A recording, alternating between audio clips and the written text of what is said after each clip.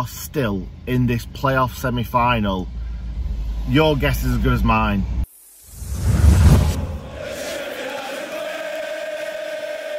So here we go. It's the first leg of the playoff semi-final versus Nottingham Forest at Bramall Lane. Now, who'd have thought this? Who'd have thought this under Slav? When we're playing away at Ewood Park, we got absolutely smashed. Who'd have thought that they were a lot further down the league and we were going to finish fifth and a lot of people saying that we are the favourites for the playoffs. Now, I'm not saying that. I think that Forest are still the favourites, but yeah, we're playing, we're not playing too badly at the moment, are we? Anyway, so this is going to be a two-person vlog like it was for the last one. It's going to be a Nick cam, as you can see up there, and there's going to be a Hal cam when Hal comes on. So, yeah, it's going to be a fun day. Uh, hopefully the Blades can get the win. And, um, yeah, let's enjoy the sun. Let's enjoy the football. And hopefully let's enjoy some goals. Goals for the Blades. I must be more specific in life. Goals for the Blades. Let's go. Here we are then about to speak to my nephews who are not joining me for the game because... Why? Because we, uh, we're going to a castle. A castle. That's the reason that you can't go to the playoffs because... Uh, because we, because our mum wouldn't let That's us. the real reason, okay. And, and we and and we were so excited to go! Yay! All right. Wow, that's a weird angle. Uh, let's give the people what they want. So, same sandwiches as the Fulham match. I am recording this before the game. I don't know whether to have a sandwich or wait till afterwards because it's a much later game. So, I'm pretty hungry. So, I'm, I'm probably gonna. I'm gonna wait though because I waited before. I waited after the Fulham game. So, do you know what? Even though I'm hungry, I'm gonna wait until after this Forest game because I do not want it to be my fault. At the moment, I've done everything the same. So we're on his way down to Bramall Lane now in the car. It's boiling hot. I don't know why I've wore jeans, but I have done. Um, I'm going to hit you with a little prediction now, as I did last week. Uh, 2-0 Blades or 3-1 Blades. This could massively blow up in my face. Um, but I just feel confident. I feel like the Blades are going to do it by two clear goals. And then we're going to go to the City ground, hold out for a draw or something like that, and fly off into the sunset to Wembley. Come on, the Blades. Can't tell you how excited I am to see uh, Statsman Adam. You think I'm a football geek? This guy, this guy, the original. Look, look at that. That's how tall you are. I couldn't even get the top of your head in. Uh, we are so excited. You came on the train, right? What's it like? Ab- absolutely boisterous, noisy, loads of blades. The train driver, as I got on, up the blades, up the blades. He says as we got on, absolutely superb. You love that. Absolutely superb. We are on our way to Triple Point. Going to go and meet some of the lads from Blades Pod. We're also, fingers crossed, going to try and meet up with YouTuber Benjamin Bloom. I am so pleased to be able to meet Benjamin Bloom, who has a Blades good luck charm, joined us today for this match against Nottingham Forest. Benjamin, whenever it comes to watching a Blades game, you know that United fans really appreciate you.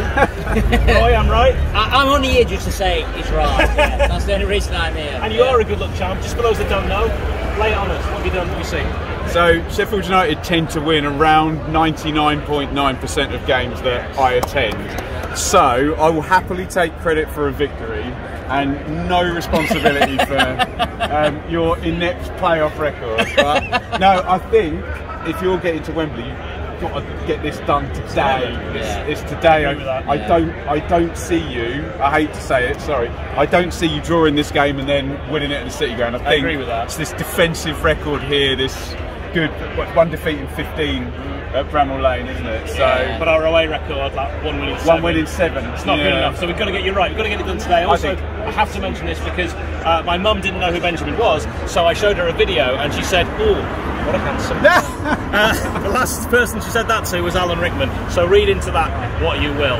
Uh, Roy, your chance to say anything to the man who you've been rather excited about meeting today. He didn't want me to tell you that. I, I, I love. Uh, yeah, no, no. no you're, you're obviously Aren't you supposed to be wearing a Columbia shirt? he knew it. doesn't work anymore. Oh, Doesn't okay. work anymore. It, it- it's all like the Premier League Championship. So you believe in certain ridiculous lucky charms? Exactly that. not others. exactly that. So we've got you here, like obviously, to, to win us the playoffs.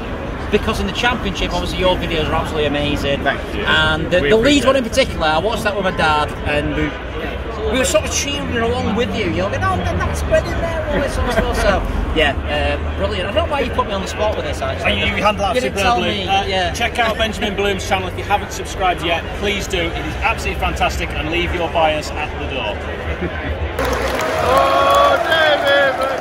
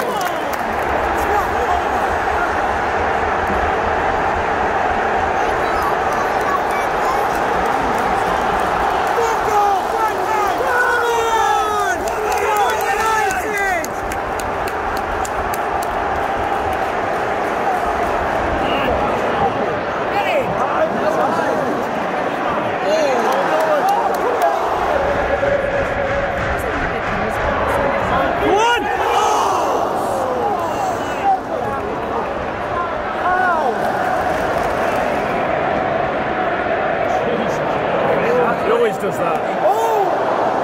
Straight in the keeper.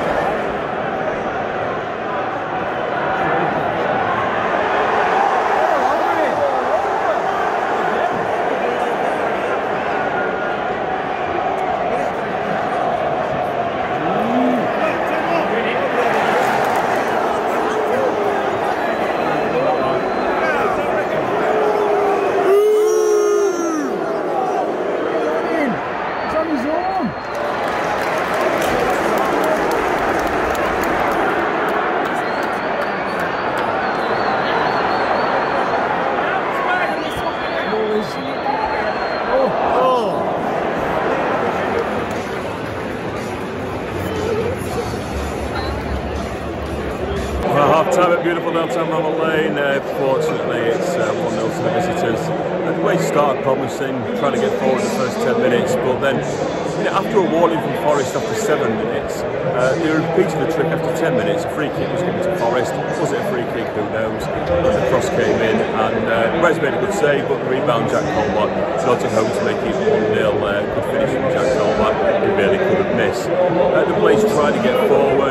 Gibbs White got in behind. John Egan had a really, really good header. Uh, it was uh, cleared off the line, and it was, you know, it was 1 0. You know, we need to get back in the game. We need to try and find a way into the game. We need to try and get a way back into this tie.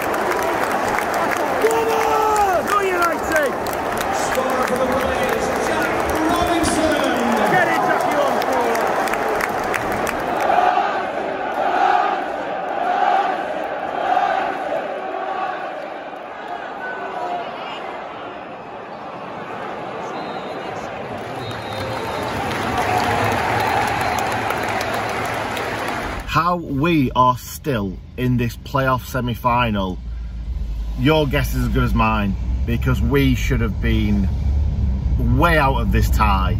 They should have gone up probably 3-0 at half time and then they should, probably should have finished the game off 5 or 6-0. We didn't even deserve that goal. We were terrible in this game. We were not up for it. We might have been up for it for five minutes, but then they came into it, bullied us, and somehow we have managed to scrape a scrappy goal that's kept us in this game. Just before we scored, maybe five minutes before, Egan makes a fantastic tackle after his gaff um, for their second goal. And then the Blades go and sneak a, a random goal from across. I've, I've got no idea how we've managed to, that how that ball's managed to end up in the back of the net. Maybe it's a Samba mistake, but it's just hit Sander Berge apparently and ended up in the back of the net. The Blades have lost 2-1, but it actually feels like a win. It really does, as stupid as it sounds, it sounds like a win. So we go to the City Ground in a few days' time, just hoping that we get an early goal and get ourselves back into this game because if Forest go 1-0 up early on in the next game, it's all over. But fair play to Forest, Forest were by far the better team.